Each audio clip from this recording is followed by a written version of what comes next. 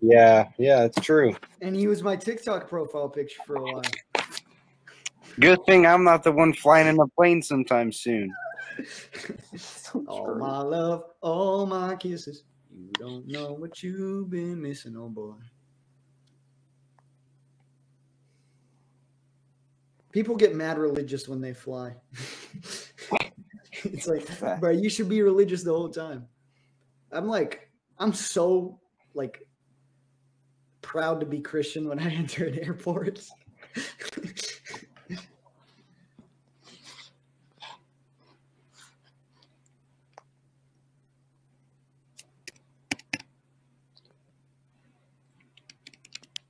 I love Buddy Holly so much. Oh my gosh.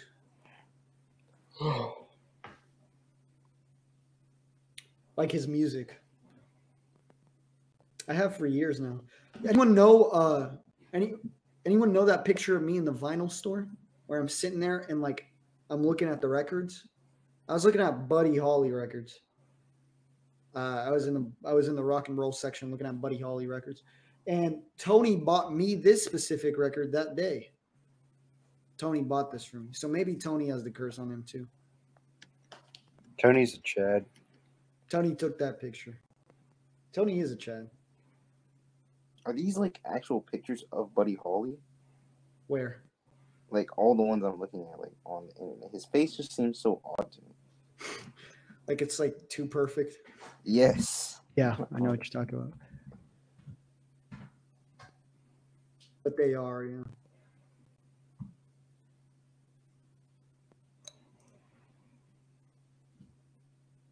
Like it's such a smooth face. I don't know. Yo, Josh, your tweet. What did you tweet? yeah. I do have Ricky Nelson vinyls. Josh, read the tweet. Uh, hold on. I said, if I die before having sex because this nigga Ilya is showing Buddy Holly songs on stream, I'm gonna be fucking pissed in the afterlife. Unironically, I'll go find this motherfucker and just like yell at him for that shit happening. Because I know he's gonna die too. imagine, imagine I don't die. that will just be some bullshit.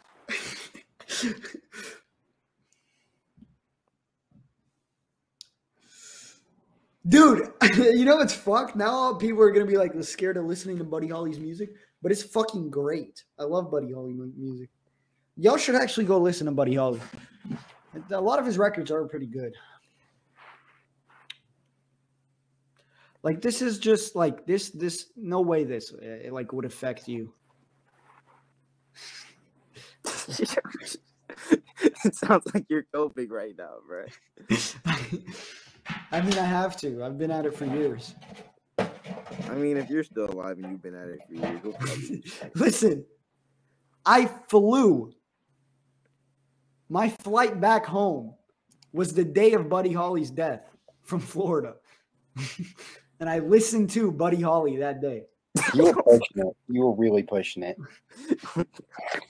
My Miami to Atlanta flight, February 3rd.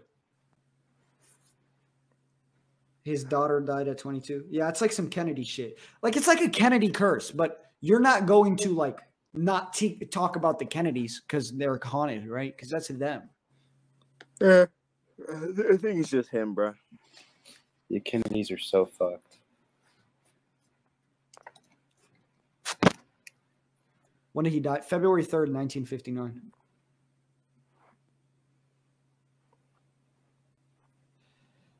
Oh, my love, all my kisses.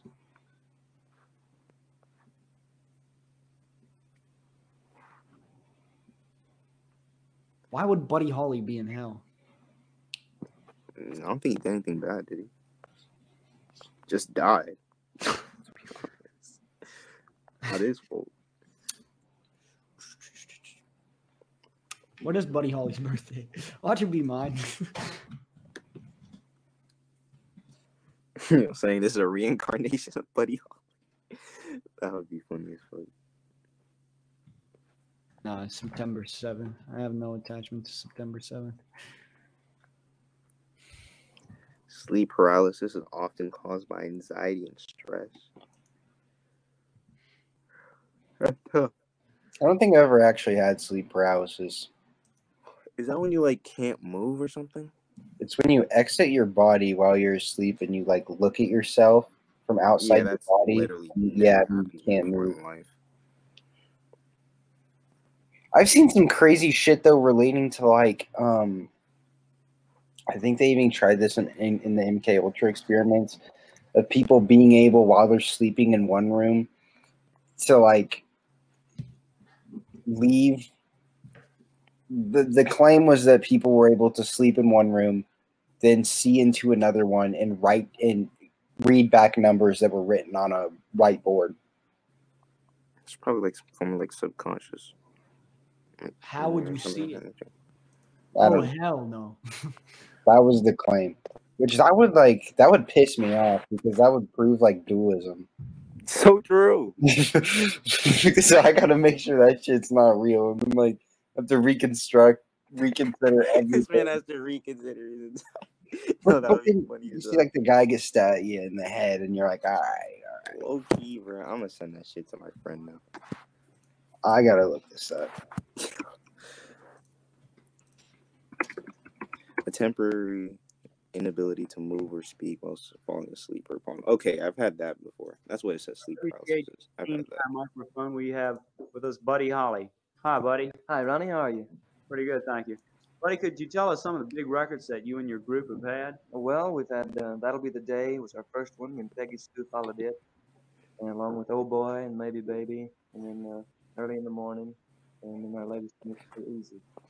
Oh, Quite a bit. Do you know the total number of all your records? How much they've sold so far? Uh, we don't have any idea, Ronnie, of what's sold. We figure somewhere around four or five million. Somewhere. like Four or five million. Tremendous volume of records.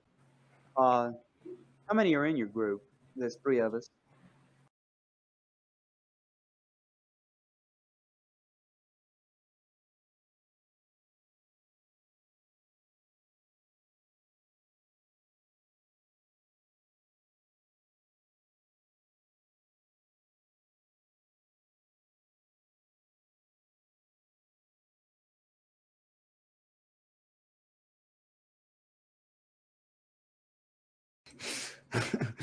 Yeah, I actually love his. I actually love his voice.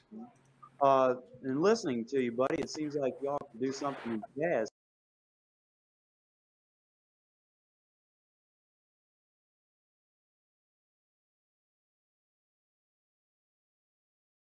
Like jazz, actually, and it, it's kind of in uh, with rock and roll in one way, and then it's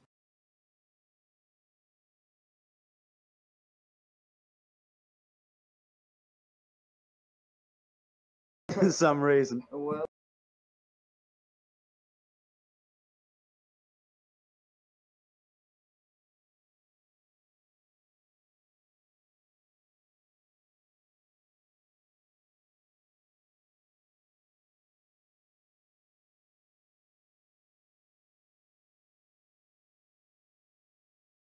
His release fucking voice, or is that just me? Isn't that like how What kind of a majority of people at that time talked? Listen, his brother is literally still alive, y'all. Okay.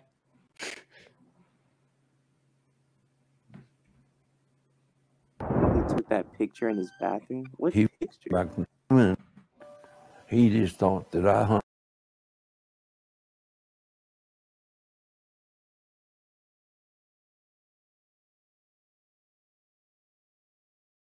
and uh, Joe B. Oh shit.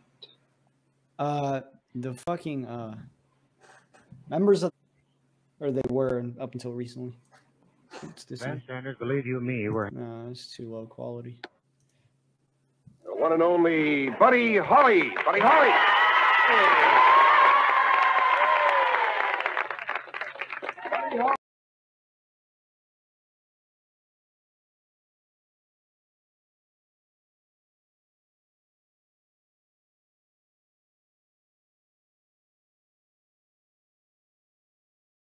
Enough where it actually like made his voice sound. This is good. Ronnie King.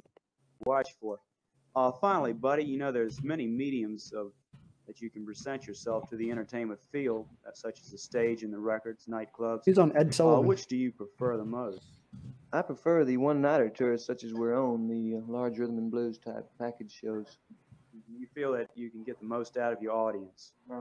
Yeah, you can you can do your four or five songs and and really, I mean, it feels good to play to an audience that's watching instead of an audience that's either uh, uh, interested in something else, like in nightclubs. You know, there's a lot going on that sometimes they're interested in something besides the act on stage, and then uh, in your dances, well, they're more interested in their dancing, of course.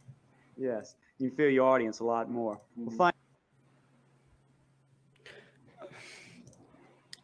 The Crickets. Now, Texas boys, do it. Red and chat help.